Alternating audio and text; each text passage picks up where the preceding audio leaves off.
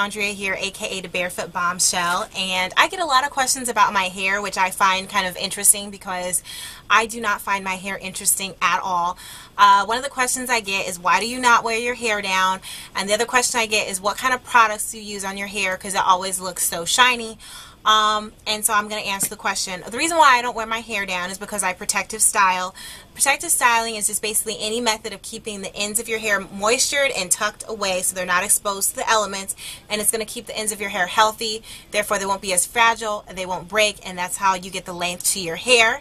So that is reason why I do not wear my hair down. I'm currently on a two-year protective styling challenge and I am nine months into my challenge. I have experienced a tremendous amount of growth doing this method that I probably am going to extend it way beyond two years. Um, what I use in my hair is I use coconut oil in my hair and I use uh, shea butter in my hair and then I use the basic African Shea Butter Superlite by Joie Naturals because I just like how creamy and soft it is. Um, so I use those. Those are the three main moisturizers I use for my hair.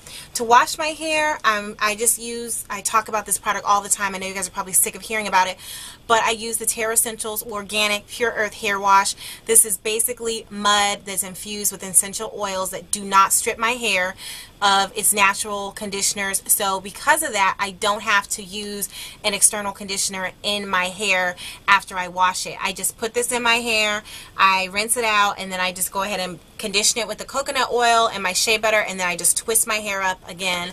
I try to wash my hair once a week. Right now I have been so crazy busy. I literally have been having my hair like this style for two weeks and I just wrap it up and before I go to bed. And so it's actually been staying in pretty good. I do need to wash my hair. I can feel it with my scalp, but I just have a lot to do. So hopefully I'll be able to wash my hair um, sometime soon.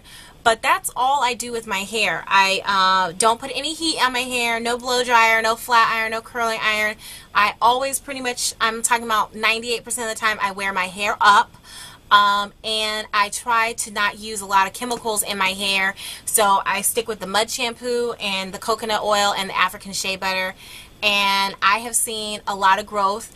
If you're interested in growing your hair, regardless if your hair is perm, regardless if you've got white girl hair, regardless if you've got, you know, the typical afro textured hair, if your hair is curly wavy, all women of all different ethnicities have found different methods of protective styling that works for them. You can check out any of the long hair care forums. You have women of all ethnicities will show you what tricks that they use.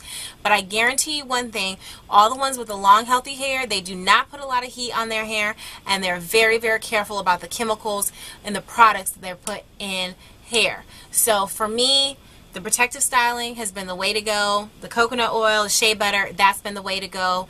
Um, I've been using these products for a long time. I don't see see myself switching to anything else so this is my method I do my own twisting of my hair and at the end of this video I'll just show you guys some pictures of some different updos that I've done on my hair I don't know how to repeat a style because I basically just make it up at the time um, which kind of sucks because I've done some really cute ones that I'm like gosh how did I get it to go that way?